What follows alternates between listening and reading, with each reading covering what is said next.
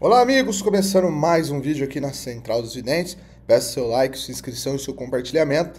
Trazendo para vocês algumas previsões inéditas do Rodrigo Tudor que eu ainda não havia trazido aqui para o canal.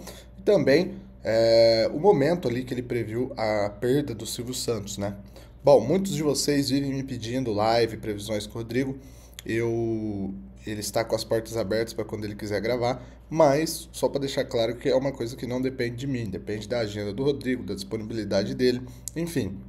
É, eu sei que muitos de vocês, quase todos os dias, mandam mensagem: cadê os vídeos do Rodrigo? Porque o Rodrigo não está mais na capa, não tem mais nada dele. Mas é, tem algumas coisas que não dependem só de mim, galera. É, eu, o que o Rodrigo pede, eu estou sempre disponível, gosto demais do trabalho dele, ele sabe disso, e estou sempre compartilhando. Mas aqui é um canal na qual eu faço parceria com todos os videntes, né? Assim como tem outros videntes aí que participam aqui do canal, tá? E às vezes não bate agenda, às vezes o vidente quer dar uma pausa, enfim, não tem como eu controlar. Eu sei que vocês gostam bastante. O dia que o Rodrigo voltar, nós traremos vídeos aqui dele, com certeza, tá? Podem ficar tranquilo. O Rodrigo tem as portas abertas aqui, ele sabe disso, gosto demais dele e sei que muitos de vocês também gostam dele, né? O que eu sempre digo é o seguinte: tem espaço para todos. Alguns gostam do Rodrigo, é natural que outros não gostem. Alguns gostam do vidente fulano, do vidente X, outros não vão gostar. Então tá tudo certo. Por isso que o meu canal eu costumo dizer que ele é como se fosse uma emissora dos videntes. Então tem para todos os gostos. Não gosta de um, tem outro, tem outro, tem outro, tá? Então assim, agradeço as mensagens de vocês aí, tá? Vocês que pedem sempre, mas eu dependo também da disponibilidade do Rodrigo, da agenda dele e dele querer, obviamente. Mas sempre que dá eu tô trazendo previsões dele. Espero que em breve tra tra podemos trazer aí uma live, né? Que vocês tanto gostam, beleza? Então fica aí com essas visões. Roda o vídeo. Infelizmente, é um ano, o segundo semestre, é, é um momento que a gente ainda vai ter muitas perdas, políticos, artistas, né? Vai, vamos ter luto aí, e eu detesto quando eu falo isso, que é quase que uma vez no ano, né? Quando eu falo luto, retiro todas essas previsões que às vezes um, um, artista desconhecido morre, ah não, é aqui, não, não é. Quando eu falo que é um luto que vai parar o Brasil, foi o que aconteceu com o Gugu Liberato, o que aconteceu com Mamonas Assassinas, o que aconteceu com Marília Mendonça. Então é um luto dessa proporção. Não vai ter, não vai ter uma pessoa que não vai chorar uma pessoa muito querida, a gente já conhece há muito tempo, e é isso. Na política, né? Não, na televisão. Ah, na televisão, esse seria. É, mas não é querido, não. Oi, não entendi, cortou. Política vai acontecer, é, mas ele não é querido. Ele é um, um político famoso, ponto. Entendi. Na, na, TV, não. É uma pessoa que realmente. É... Olá, meus amigos do YouTube, meus amigos do Brasil. Aqui é o Rodrigo Tudor direto de Belo Horizonte, nessa data tão triste para o Brasil, com a perda do nosso amado Silvio Santos. Gente, eu resolvi passar por aqui rapidamente, porque, como vocês devem saber, uma enorme, enorme repercussão em todos os lugares que eu passei hoje. Todos falaram, Rodrigo, você previu, você falou. Pois é, gente.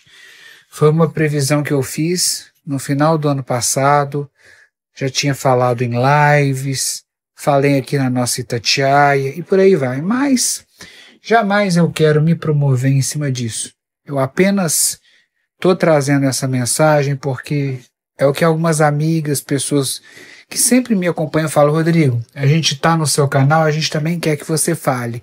Então fale. Então assim estou fazendo. Sim, foi uma previsão que eu fiz no final do ano de 2023 Fiz no programa do Júnior Moreira, fiz em outras lives e disse que na segundo, segundo semestre de 2024 seria muito pesado, e está sendo, né, gente? Teríamos muitas perdas. Então, essa previsão que envolve o Silvio já é uma previsão antiga, que eu já venho falando com toda a minha elegância e transparência, até porque nos últimos 15 dias eu tive com pessoas muito próximas a ele e eu já sabia que a situação dele era crítica, né? Então, todas essas outras pessoas que vieram falar por agora, realmente vocês me desculpem, o Silvio estava já numa situação crítica e todo mundo que era ao redor dele já sabia que o momento era muito difícil. Bom, mas sim, foi uma previsão que eu fiz lá atrás. É um momento de muita dor. A gente deseja que a família Abravanel seja acolhida pela espiritualidade, né? Que o Silvio seja muito bem recebido pela espiritualidade, porque é um homem que só trouxe coisas boas para o Brasil. Eu tive a oportunidade de conhecê-lo por volta de 2002, né? Na época que a gente tinha o um programa Falando Francamente com a Sônia Abrão e eu participava muito do Falando Francamente e também por ocasião uh, da, dos programas do Gugu. Por algumas vezes eu estive com o Silvio lá nos bastidores uh, no programa do Gugu Liberato, que eu me lembro.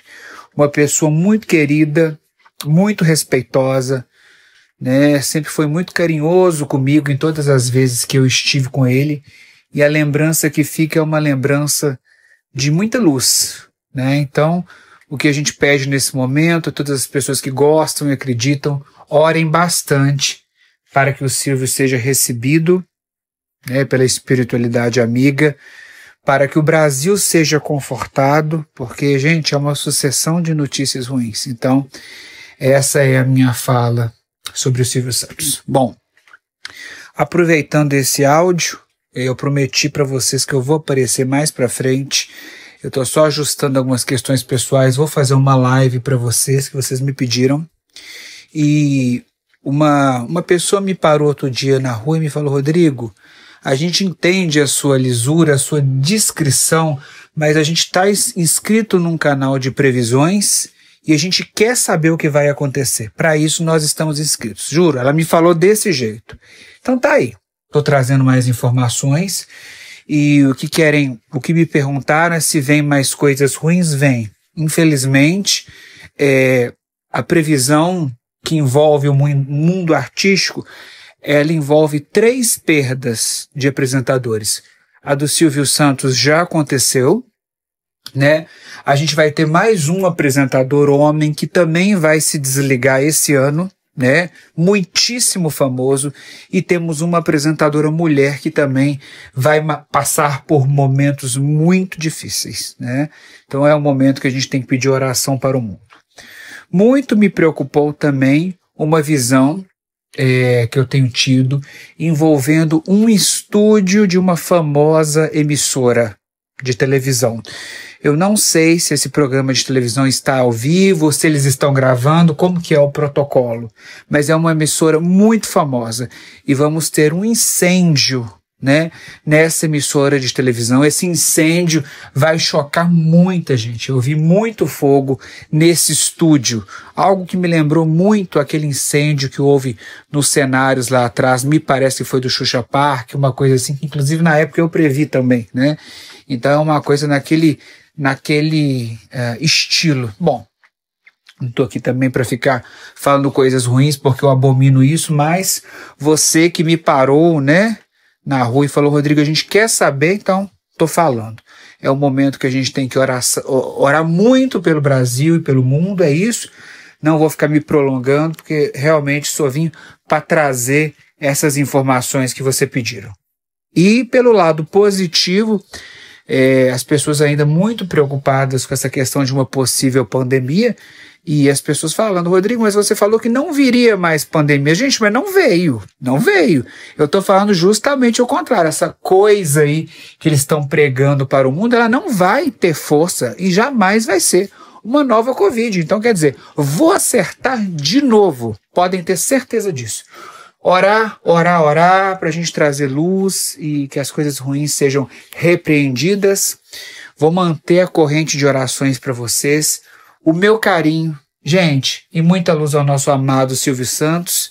Esteja em paz e o meu agradecimento a ele as tantas vezes que fui ao SBT. Porque se ele não permitisse, eu não teria ido lá divulgar o meu trabalho na época. Muito obrigado, muita luz a todos se inscrevam no meu canal.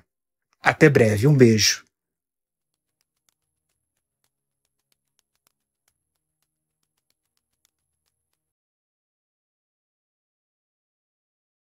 Infelizmente, é um ano, o segundo semestre, é, é um momento que a gente ainda vai ter muitas perdas, políticos, artistas, né? Vai, vamos ter luto aí, e eu detesto quando eu falo isso, que é quase que uma vez no ano, né?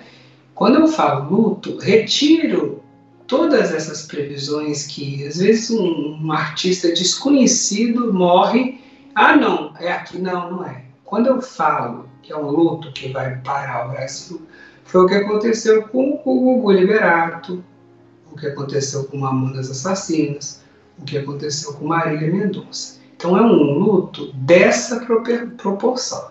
Não vai ter, não vai ter uma pessoa que não vai chorar.